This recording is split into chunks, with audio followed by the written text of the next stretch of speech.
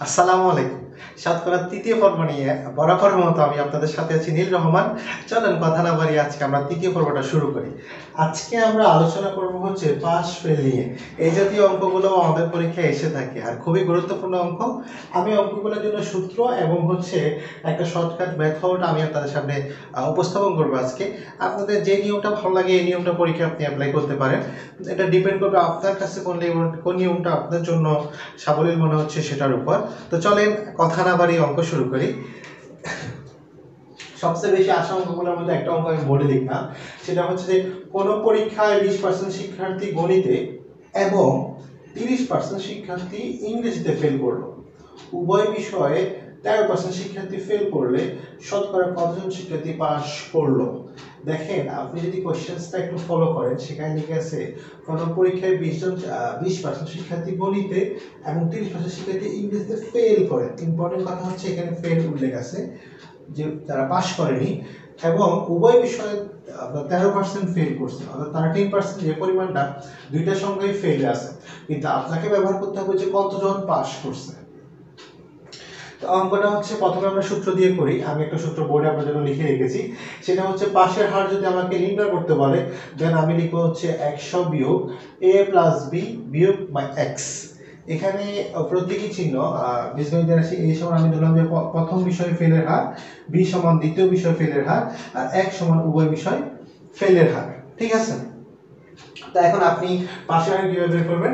দেখেন হার বের করার জন্য আপনাকে আমরা যদি সূত্রটা অ্যাপ্লাই করি তাহলে সূত্রটা হচ্ছে একশো বিয়োগ, আপনার হচ্ছে এ এ মানে হচ্ছে আপনার প্রথম বিষয় ফেল তো প্রথম বিষয় ফেল করছে কত পার্সেন্ট বিশ পার্সেন্ট যোগ দ্বিতীয় বিষয় ফেলের হার। দ্বিতীয় বিষয় ফেল করছে কত পার্সেন্ট ত্রিশ পার্সেন্ট মানে twenty percent thirty percent minus উভয় বিষয় ফেলের হার। উভয় বিষয় ফেলের হার হচ্ছে থার্টিন পার্সেন্ট এই টোটাল নাম্বারটা যদি আমরা যোগ করি সূত্রটা আমরা ইংলিশ দেখি, যেহেতু আমরা ইংলিশেই করতেছি বলে ইংরেজিতে দিই, তো মাইনাস তা আপনি যদি হিসাব করেন বিশ আর ত্রিশ যোগ করলে পঞ্চাশ পঞ্চাশ থেকে যদি তেরো বাদ যায়, তাহলে কত হয়? একশো মাইনাস হচ্ছে সাত, আর হচ্ছে আপনার সাঁত্রিশ সাঁত্রিশ পার্সেন্ট আপনি যদি একশো থেকে সাঁত্রিশ পার্সেন্ট বাদ দেন মানে একশো পার্সেন্ট থেকে আপনি যদি সাঁত্রিশ পার্সেন্ট বাদ দেন, তাহলে আপনার জন্য থাকতে হচ্ছে সিক্সটি থ্রি পার্সেন্ট এই কোনো পরীক্ষার শিক্ষার্থী গণিতে বিশ পার্সেন্ট শিক্ষার্থী গণিতে, তিরিশ পার্সেন্ট শিক্ষার্থী ইংরেজিতে। টোটাল তাহলে আপনার পাস করছে হচ্ছে কত? তেষট্টি পার্সেন্ট অঙ্কটা আপনি এভাবে করতে পারেন, অথবা আপনি ম্যানচিত্র আকারে করতে পারেন। ম্যানচিত্র আকারে কীভাবে করবেন? প্রথমে আপনি উভয় বিষয়ে কতজন শিক্ষার্থী ফেল করছে সেটা লিখবেন। উভয় বিষয় শিক্ষার্থী, যেহেতু আমি পাশের হার লিখতে চাচ্ছি উভয় বিষয় শিক্ষার্থী ফেল করছে আপনার তেরো জন। ঠিক আছে? তো যখন আপনার শিক্ষার্থী ফেল করল, তাহলে আপনার হচ্ছে, এই গণিতে হচ্ছে কত পার্সেন্ট গণিতে হচ্ছে আপনার বিশ। তো তেরো থেকে বিশ জন বাদ। বিশ জন যখন আপনার ফেল করছে উভয় বিষয় যখন তেরো জন ঢুকে গেছে, তাহলে বিশ জন বাদ, সাত। আর হচ্ছে আপনার ত্রিশ। ত্রিশ থেকে তেরো বাদ দিলে হচ্ছে আপনার সতেরো। তা আপনি যদি সবগুলো এখন যোগ করেন, তাহলে কত হয় দেখেন? তেরো আর সাথে হচ্ছে বিশ বিশ আর তিরিশ হচ্ছে সাঁত্রিশ টোটাল হচ্ছে আপনার কত? সাঁত্রিশ আর আপনার কাছে ছিল কত? হান্ড্রেড। তা আপনি হান্ড্রেড মাইনাস সাঁত্রিশ দিলে হচ্ছে সিক্সটি থ্রি পার্সেন্ট। এটা আপনি বেঞ্চে এভাবে বসায়ও করতে পারেন, অথবা আপনি অঙ্কটা এভাবেও করতে পারেন। তো আপনারা চাইলে অঙ্কটা স্ক্রিনশট নিয়ে নিতে পারেন। তো চলেন আমরা দ্বিতীয় অঙ্কটাতে যাই। আর দ্বিতীয় নম্বর প্রশ্নটা হলো যে,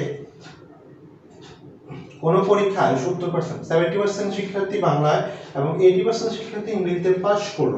কথাটা ভালো করে শুনেন। পাস করল। উভয় বিষয়ে এটা বিষয়ে টেন পার্সেন্ট শিক্ষার্থী ফেল করল। তো যখন পাস করল, আর এখানে হচ্ছে ফেল করল, কিন্তু আবার আমাকে বের করতে হচ্ছে পাস করল, কথাটাতে একটু ইজি বিজি মনে হচ্ছে না? কিন্তু এটা খুবই ইজি কথা জাস্ট একটু খেয়াল করেন, এখানে ফেল এখানে পাস আমাকে যেটা করতে হবে পাশের হার বের করতে গেলে সবগুলো ফেল লাগবে। প্রথম বিষয় ফেল দ্বিতীয় বিষয় ফেল উভয় বিষয় ফেল তো উভয় বিষয় ফেল তো আমার আছেই। তাহলে প্রথম এবং দ্বিতীয় বিষয় যে পাস আসে, সেটাকে আমাকে ফেলে নিতে হবে। তো ফেলে আমি কীভাবে নিব? খেয়াল করেন টোটাল স্ট্রেন্থ ছিল আমার কত পার্সেন্ট হান্ড্রেড পার্সেন্ট সেখান থেকে সেভেন্টি পার্সেন্ট হচ্ছে পাস করছে তাহলে ফেল করছে কত পার্সেন্ট থার্টি পার্সেন্ট এটা ছিল আবার কোথায়? বাংলা। ঠিক সেম আমি যদি লিখি বাংলার পরে আরেকটা বিষয় হচ্ছে আমার ইংরেজিতে। ইংরেজিতে সেম আপনার টোটাল স্টোর হচ্ছে আমার একশো পার্সেন্ট সেখান থেকে হচ্ছে এইটি পার্সেন্ট আমার পাস করে ফেলছে। তাহলে আমার আসার কত পার্সেন্ট টোয়েন্টি পার্সেন্ট হচ্ছে আমার ফেল করছে ইংরেজিতে। আর উভয় বিষয়ে ফেল তো আমার আছেই। কিন্তু উভয় বিষয়ে ফেল তো আবার আছে হচ্ছে আপনার কত পার্সেন্ট টেন পার্সেন্ট এই তিনটা মান কিন্তু আমার কাছে আছে। তা এখন এই তিনটা মান আমি আমার সূত্রের মধ্যে বসাই দেব। সূত্রটা হচ্ছে কি আমার? হান্ড্রেড পার্সেন্ট মাইনাস প্রথম বিষয়ে ফেল থার্টি পার্সেন্ট দ্বিতীয় বিষয়ে ফেল টোয়েন্টি পার্সেন্ট আর উভয় বিষয়ে ফেল হচ্ছে আমার কত? টেন পার্সেন্ট সেটা আমি মাইনাস করে দেবো টেন পার্সেন্ট করার পরে আপনি যদি হিসাব করেন, তাহলে হচ্ছে হান্ড্রেড পার্সেন্ট মাইনাস হচ্ছে আপনার ফিফটি ফিফটি থেকে নাইন গেলে ফর্টি তাহলে আপনার পাস করছে টোটাল পাস করছে হচ্ছে কত পার্সেন্ট সিক্সটি পার্সেন্ট এই অঙ্কটা যদি আপনি ভ্যান চিত্রতে করতে চান, তাহলে কীভাবে করবেন? দেখেন, প্রথমে আমি আগে বলছি উভয় যে ফেল ছিল ফেলে যে টেন পার্সেন্ট শিক্ষার্থী, সেটা আমি এখানে বসাই দিব। টেন পার্সেন্ট তাহলে আমি বাংলায় ফেল করছি, কত percent thirty percent thirty percent এখানে বসাইলাম তো থার্টি পার্সেন্টের মধ্যে দেখেন টেন পার্সেন্ট এখানে বসে গেল, তাহলে এই বৃত্তের মধ্যে আর কত পার্সেন্ট লাগতেছে? টোয়েন্টি পার্সেন্ট যেটা বাংলার জন্য, ঠিক আছে? আবার ধরেন যে ইংরেজিতে ছিল আমার টোয়েন্টি পার্সেন্ট তো ইংরেজিতে টোয়েন্টি পার্সেন্ট থাকে টেন পার্সেন্ট কিন্তু অলরেডি বসে গেছে। তাহলে আর লিখব কত হচ্ছে? টেন পার্সেন্ট তাহলে তিনটা যোগ করলে হচ্ছে আমার ফোরটি পার্সেন্ট টোটাল স্টুডেন্ট ছিল হান্ড্রেড পার্সেন্ট মাইনাস হচ্ছে সিক্সটি পার্সেন্ট এই সিক্সটি পার্সেন্ট শিক্ষার্থী হচ্ছে আপনার পাস করল। আশা করি এই অঙ্কটা আমরা বুঝতে পারছি, আমাদের সমস্যা থাকার কথা না। আপনারা স্ক্রিনশটটা দিয়ে দেন। এখন আসেন, আমরা সূত্র নাম্বার দুই আলোচনা করব। সূত্র নাম্বার দুইটা হচ্ছে কি আমরা এখানে ফেলের হার নির্ণয় করব। তো ফেলের হার নির্ণয় করার জন্য সূত্রটা আমি কি ধরলাম? Hundred minus C plus D minus Y এখানে বলে রাখা ভালো সি হচ্ছে আমি প্রথম বিষয় পাশের হার আর ডি হচ্ছে দ্বিতীয় বিষয় পাশের হার। আর ওয়াইকে আমি উভয় বিষয় পাশ ধরেছি। এখন আপনি যদি খেয়াল করেন, একটা সর্ব- সর্বাধিক পরীক্ষায় আসা একটা অঙ্ক এখানে বোর্ডে দেওয়া এটা বাইশ নম্বর বিশেষ অনেকগুলো চাকরি পরীক্ষা আসছে। প্রশ্ন হচ্ছে এরকম, কোন পরীক্ষায় আশি পার্সেন্ট শিক্ষার্থী গণিতে এবং হচ্ছে আপনার সেভেন্টি পার্সেন্ট শিক্ষার্থী হচ্ছে বাংলায় পাশ করল এবং উভয় বিষয়ে হচ্ছে সিক্সটি পার্সেন্ট শিক্ষার্থী পাশ করল, তাহলে শতকরা কতজন পরীক্ষার্থী ফেল করল?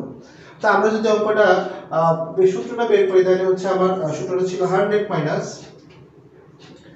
হান্ড্রেড মাইনাস হচ্ছে আপনার প্রথম বিষয় যে পাশের হার, প্রথম বিষয় পাশের হার কত হচ্ছে আমার এইটি পার্সেন্ট দ্বিতীয় বিষয় পাশের হার কত? সেভেন্টি পার্সেন্ট আর উভয় বিষয় পাস করতে আমার কত?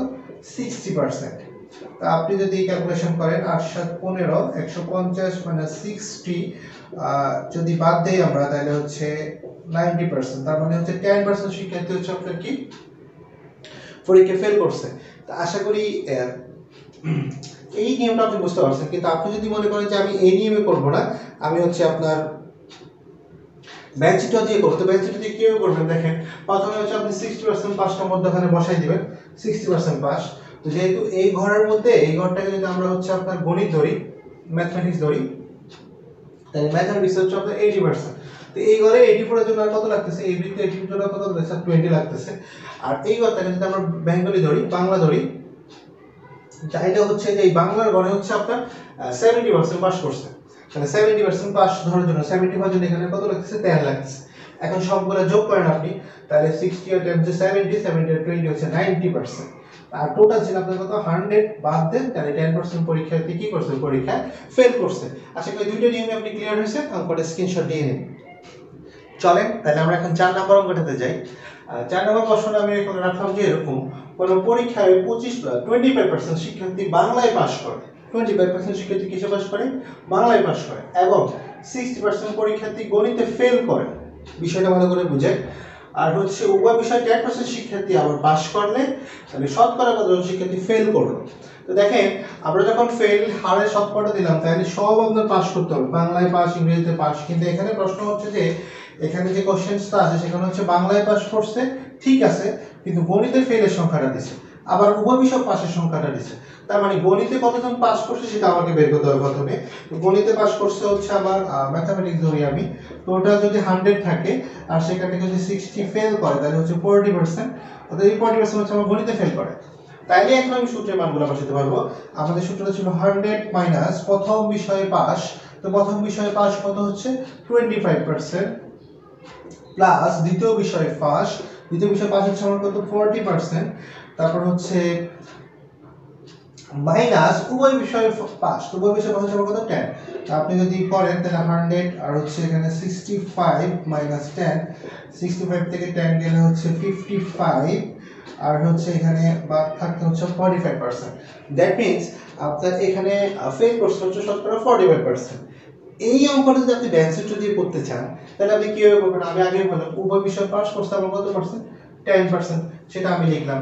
তো এটাকে যদি আমি বাংলা ধরি, এই কটা যদি বাংলায় ধরি, তাহলে বাংলায় ছিল আপনার কত পার্সেন্ট বাংলায় ছিল আপনার হচ্ছে টোয়েন্টি ফাইভ পার্সেন্ট বাট আপনি টেন তো লিখেই ফেললেন তাই আনসার কত? ফিফটি পার্সেন্ট আর হচ্ছে গণিতে আপনার ছিল কত? ফর্টি পার্সেন্ট তা আমি যদি এটাকে গণিত ধরি, তাহলে আমি চোখে টেন পার্সেন্ট গেছে তার আপনি থার্টি পার্সেন্ট তো আপনি তিনটা যোগ করেন forty fifty five fifty five percent total ছিল আপনার হান্ড্রেড মাইনাস করেন, তাহলে হচ্ছে কত? ফর্টি ফাইভ এই ফর্টি ফাইভ পার্সেন্ট হচ্ছে আপনার কি ফেল করল। আশা করি বুঝতে পারছেন।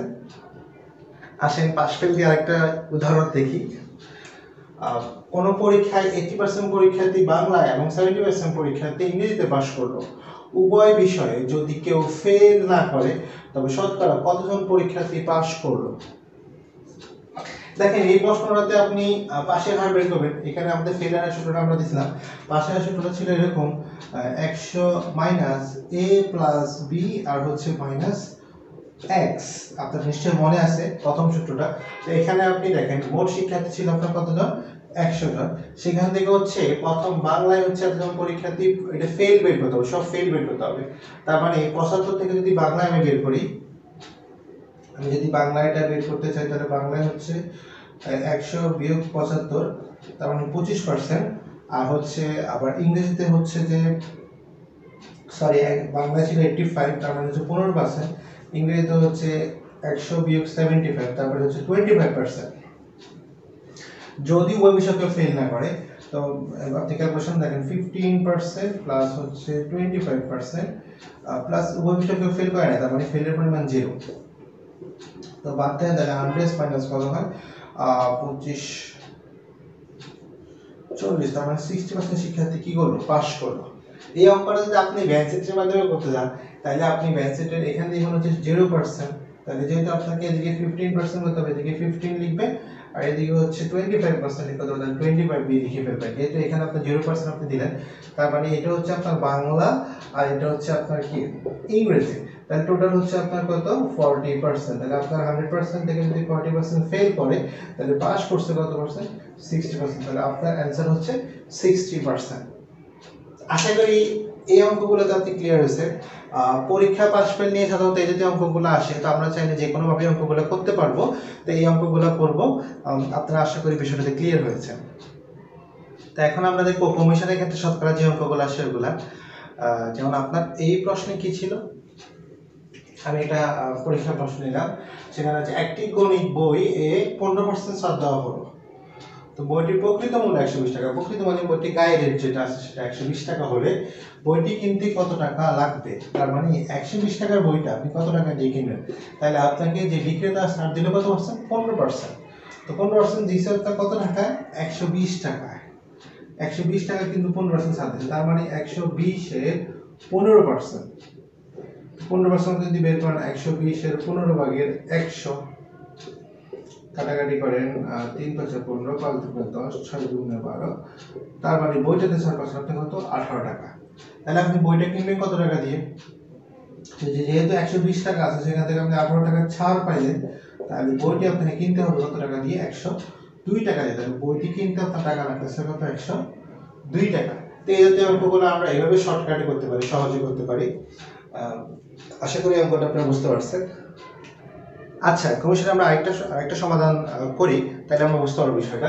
দেখেন, একটা বইয়ের মূল্য পঁচিশ টাকা, যা প্রকৃত মূল্যের এইটটি পার্সেন্ট আশি পার্সেন্ট তার মানে একটা বই যেটা আমরা পঁচিশ টাকা দিয়ে কিনছি, যেটা মূল দামের আশি পার্সেন্ট টাকা দিয়ে কিনছি। বাকি টাকাটা সরকার ভর্তুকি দিলে এর পরিমাণ কত? মানে সরকার এই বইয়ে কত টাকা ভর্তুকি দিল? সেই টাকাটা আমাকে বের করতে হবে। তো দেখেন, এখানে প্রশ্ন একটা হিন্ট দিছে, সেই হিন্ট হচ্ছে কত? পঁচিশ টাকা, যেটা কিনা আশি পার্সেন্ট ছিল। কত পার্সেন্ট ছিল?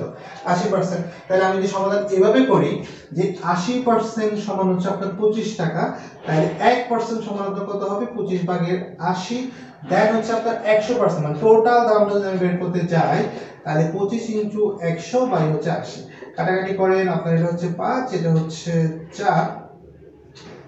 তাহলে এটা হচ্ছে পাঁচ পয়সা একশো পঁচিশ, যেটাকে আপনি চার দিয়ে ভাগ দিলে হচ্ছে আপনার একত্রিশ দশমিক দুই পাঁচ। এই যে একটি দশমিক দুই পাঁচ, এটা ছিল রিয়েল দাম। কিন্তু এই দাম থেকে প্রশ্নে কিন্তু আপনাকে বলছে ফুল টাইম কিন্তু সরকার দিবে না, সরকার দিবে হচ্ছে বাকি টাকাটা। তো যেহেতু আপনাকে বাকি টাকা দিতে হবে, এই একটি দশমিক দুই পাঁচ থেকে আপনি পঁচিশ টাকাটা বাদ দেন। তাইলে আপনি হচ্ছে আপনার, যে বাকি টাকা সেটা আপনি পেয়ে যাবেন। তো টু পাঁচ রয়ে গেল, এখানে হচ্ছে ছয় হাতে আছে, এক, দুই, একে, তিন হয়ে গেছে। তার মানে আপনার অ্যান্সার হচ্ছে ছয় দশমিক দুই পাঁচ। তো আজকে শতকরা নিয়ে যে অঙ্কগুলো করেছি, এই নিয়মের অঙ্কগুলো আপনারা বাসায় আরও প্র্যাকটিস করবেন, তাইলে আপনাদের সমস্যার সমাধান হয়ে যাবে। তো আশা করি আজকে কাজটা ভালো লাগছে। ধন্যবাদ সবাইকে। আসসালামু আলাইকুম।